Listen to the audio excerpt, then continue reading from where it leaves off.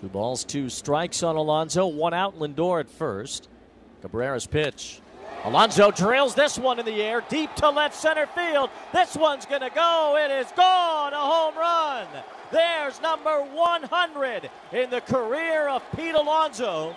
It has taken him only 347 major league games to hit 100 homers. He is the second fastest in major league history to get there. He points up to the sky as he approaches home plate. And in the same ballpark that Alonso hit his first, he's hit his 100th, and the Mets take a 2 0 lead. Great start for the Mets and a perfect capper for Pete Alonso. Have the first one there and have number 100 there as well in his home state. It's where he grew up in Florida, not in Miami, but I'm sure Pete feels that down there.